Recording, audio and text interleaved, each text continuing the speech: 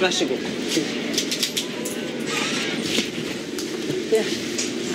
En filosofisk sett så mener jeg at hvis du tar med unga ut i skogen, samme om de liker det eller ikke, så har du vist dem et ekstra rom i livet. Ehm, og når man er i 20-åra og kanskje trenger å også roe ned litt, grann, så har de eh, unga som har vært i skogen når de var små, da har de det rommet. Da vet de om det rommet, og de kan søke til det rommet. Eh, de som ikke ble tatt med ut i skogen av foreldrene, de eh, faller kanskje ikke så naturlig inn i naturen som, som de som har vært ute når de er små. Så jeg må få lov å eh, si at uh, takk, mor og far, for at uh, dere gidder å dra med en unge som bare sier «Jeg viser snart fram. Men det fungerer, da. Altså. Får se effekten 20 år etterpå. Det, det tror jeg det gjelder for mange, er ikke bare jeg som, eh, som var sånn. Når Gylve Fenris Nagel ikke spiller det han sjøl kaller svart og stygg 80-tallsmetall, så er han ofte å finne travende i marka, helst med telt. Og vi skal til Østmarka, og turen starter som den ofte gjør for Gylve, med ei bussreise. Og da er jeg helt med på. Vi tar bussen mot Lillestrøm og går av ved Sandbekkhallen i Rælingen. Nå går vi enkleste, ja, vi går enkleste veien. Dette er bare det er helt rein plankekjøring. Ja. Eh, Dette, dette kan alle gjøre. ja, det kan alle gjøre. Alle kommer seg iallfall til Åmotdammen. Vi skal altså ut på nærtur, for Ute i naturen har tenkt å slå et slag for den norske turmåten. Ut og gå på tur og Kan gjerne være sur i utgangspunktet. Ja, og så blir du blid. Sant? Har du opplevd det? Ja, Det beste jeg opplever, det er å dra på telttur når været er shaky og man føler seg som de største mollboene i hele universet. Ja, Og så skjer det som vanligvis eh, skjer, at eh, været klarner opp utover kvelden, og det blir fine solnedganger. og Man føler at man har vunnet eh, det største i Lotto, rett og slett. Og det, sånn er det ofte. Det Hver bidige gang det skjer, Det blir ikke bedre enn det. Hva er det slags tur du skal ta oss med på i dag? Eh, I dag skal vi eh, til eh, Blåtjern i Ramstadslottet naturreservat. I Østmarka. For, ja, helt nord-øst i Østmarka. Ja. Østmarkas tak, Ramstadslottet, er målet i dag, men med litt avsporing. Vi går først til Åmotdammen og et godt stykke på skogsbilvei. Og har planer om en avstikker ned mot Blåtjern, der kjentmannen Gylve vet om ei spesiell gran. Deretter er det å kravle seg oppover mot Ramstadslottet og dagens mål. Det store spørsmålet er hvor tørr, eller kanskje heller hvor våt blir turen? Men er det mange sånne som deg som er ute og går i, på nærtur i Oslomarka? Jeg tror at det er prosentvis hvor mange, hvor mange er som meg i utgangspunktet, men eh, det er nok en Ja. god del som ser ut som meg, som er ute og prøver å fiske litt. Ja, sier du det? Så jeg tror ikke ja, jeg Langt ikke hår har eh, Nei, det- sjeldent vært uh, en sperre for å komme seg ut i naturen. det har ikke det. En fordel kanskje å ha langt hår når du er ute i naturen? Egentlig ikke. Ikke, ikke i teltet, ikke i soveposen når det er Nei. kaldt. Men uh, jeg, jeg driver jo med metal-punk, for å si det sånn. Vi er låter om metal-punkere Metal-punk, som, som er ute i skauen. Hiking metal punks. Hiking metal punks. Ja. Ja. Det er hiker-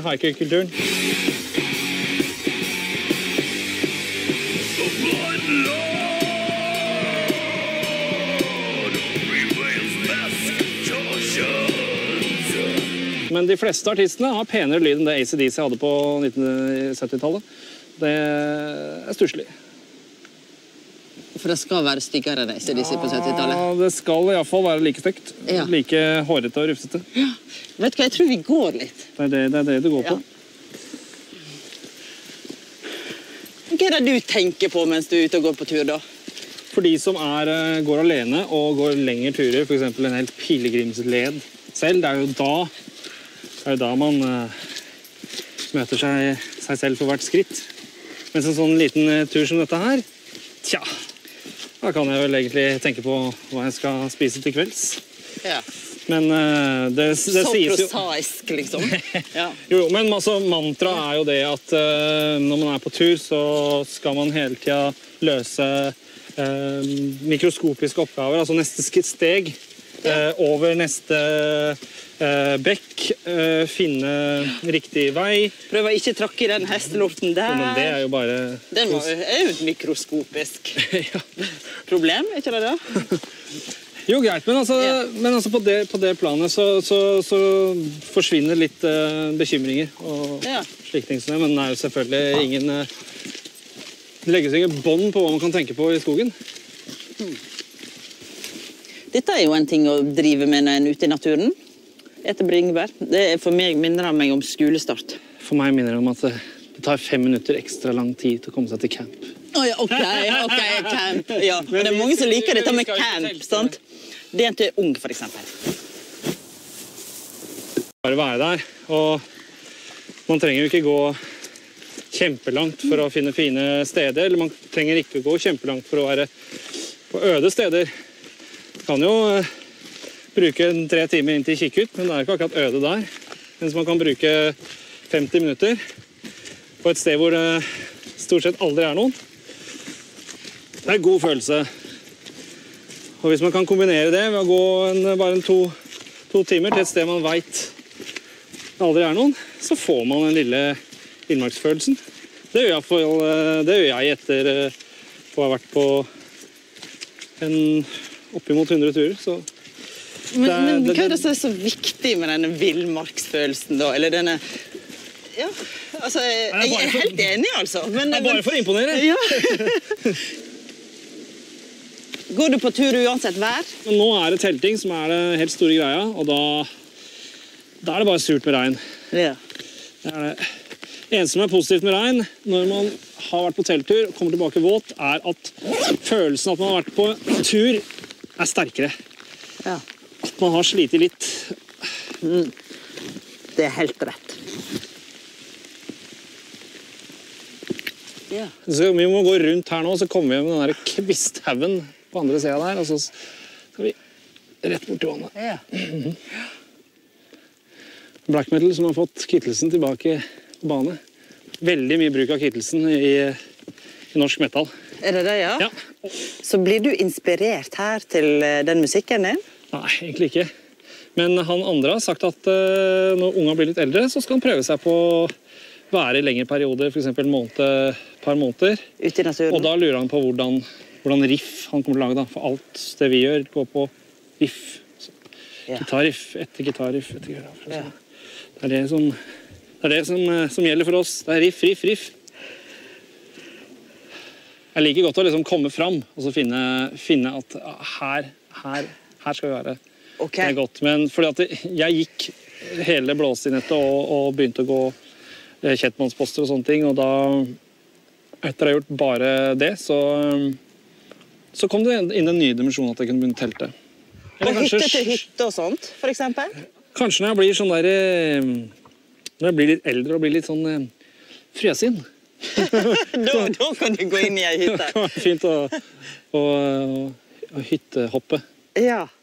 Og her skal dere få litt mer om hyttenettet. Det er nok av DNT-hytter å ta inn på i Marka. I Akershus fylke er det Setren gård som ligger an til flest overnattinger i år, med 1700.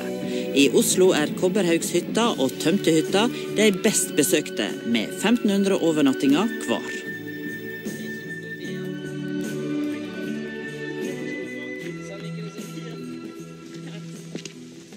Denne stien her liker du å gå på. Ja, det er eh, hovednettverket for markatravere Marka-travere i Oslomarka. Det er eh, blåstinettverket til eh, Oslo Omegn Turistforening, eller i hvert fall de som begynte å, å merke sånt for mange herrens år siden. Sikkert kanskje 100. Så det er veldig Ja. opparbeida. Og det er så enkelt så at det er blå merker her og der på trærne.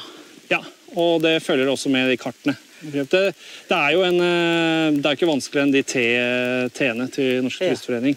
Bare at uh, blåstinettet Rett og slett litt mer binært, tror ikke du da? Jo, altså, men Ja. er mye, mye tettere merka, fordi det er eh, tettere skog Ja. her enn på fjellet. Naturlig Ja, lettere å gå feil òg.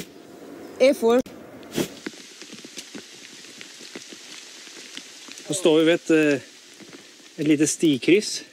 Blåstien fortsetter eh, rett ned til Østby og Lørenskog kirke. Ja. Og her er det ikke blåsti? Der er det ikke blåsti. Hva, hva vi skjer skal hvis vi går ned der? Å, ja. Da veit du. Det er da vi går mot Blåtjern. Ja, det er det som er hele clouet. Gå litt utafor blåstien og få med perlene. Men eh, det jeg mener, er at det er såpass glissent med folk eh, i skogen at det kunne med fordel vært litt flere blåstier. Litt flere merkestier. Ja, det kunne det. Dette med kjentmann dette må du forklare litt mer om. For du er såkalt kjentmann i marka. Ja, vi driver Og med kjentmannsposter. Vi tar en del kjentmannsposter. Ja. Vi er da Marcas frimur. Ja. Nei, men altså, ved å kjøpe et lite mm, hefte, ja. Som har blitt mer og mer påkostet og flottere og flottere med årene, så kan man tiltuske seg en god del kunnskap om marka. Og da gjelder det altså en god del markaområder, sånn som uh, Hurumsmarka, Kjekstadmarka, Vestmarka, Krokskogen uh, og Nordmarka, Nord-Nordmarka syd og Romeriksåsen og Lillemarka. Og Østmarka og Sørmarka og Grepsteinsmarka. ja. Der Og ligger det poster. Og da finner du sånne kjentmannsposter, Ja, og, og- så nå haker du av, og så er du kjentmann. Det gjør vi. Her Ja. eh, borte. Ja. Her er det en. Ja. Det kan godt være en post på et, eh, et tre som har fått en, en abnorm eh, mutasjon, eller det kan være ved kulturminner i marka også. Eller rett og slett det som vi i Naturvernforbundet er ganske ivrig på, at det rett og slett er, det er fint område som ikke mange mm, finner. For det Hvis vi får lokka nok folk ut i sånne fine områder, Ja. så vil de jo eh, ikke ha lyst til å ødelegge det. Folk vil ikke skite i eget reir. Dermed få folk ut på tur, det er det beste vern for naturen. Det, det, er virker, jo, det virker jo ganske juvenilt, men poenget er at det er en enorm motivasjon for å komme seg ut i marka. Iallfall for veldig mange av oss som har gått mye fra før. Og så tenker man skal jeg gå det samme stedet? Ja. Og så blar man opp i boken og nei, se, de kan jo selvfølgelig dra dit. ja. Ikke sant? Vi må videre. Og du har lovt meg ei svær gran. Vi er heldige å ha en eh, gammel kjentmannsbåt som eh, er en omfangsrik gran. Og den skal vi innom på vei til eh, Ramstadslottet. Det blir jo fett. Ja. Og den er lett å se. Eller, Ikke for, ja. ikke for de som ikke veit. Nei, vi må se oss om, Ingen som tusler borti der uten grunn, for å si det sånn. Ja. Der har vi den. ja. Der har vi den. Skikkelig bamse. Ja. Så her har du vært en gang når det var sånn kjentmannspost og Ja. klippe av. Stempla. Ja, vi hadde ikke vært inni her hvis det ikke hadde vært for uh, Nei, for den. Men når vi rundt den, la oss nå prøve. Begge to? Nei. Nei. Nei. Jeg har gitt opp på forhånd, men la, bare la oss vise hvor tjukk den er.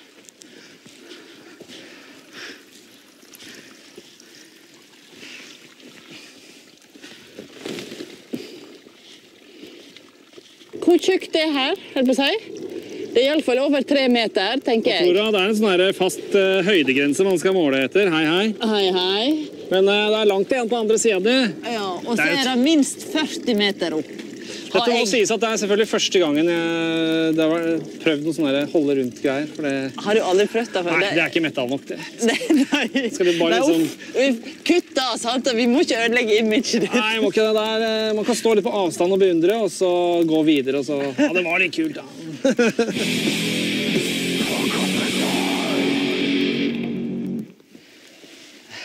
Er fete, de steinblokkene oppå her også, for der er det steinblokker med, med trær på. De eh, klamrer seg til ganske tynt mosegrunnlag. Det er 70 milliarder mygg, så jeg er på å komme meg litt eh, opp på gresslinjen. Vi må gå litt fort, selv om det er trolsk og fint å gå her. Fire kilometer i timen, også rett oppover. Ja, OK. Blåstid. Ganske typisk blåstid. Vet ikke, det er her er på en måte soundtracket til, eh, til markavandring, da. Det er det. Øyets soundtrack. Du, ja, men det var ikke verst. Ikke verst uh, sørvestover her. Ja Det er ikke så gale. Jeg syns jeg ser blåna. Ja. Kan du si noe hvor vi er i landet?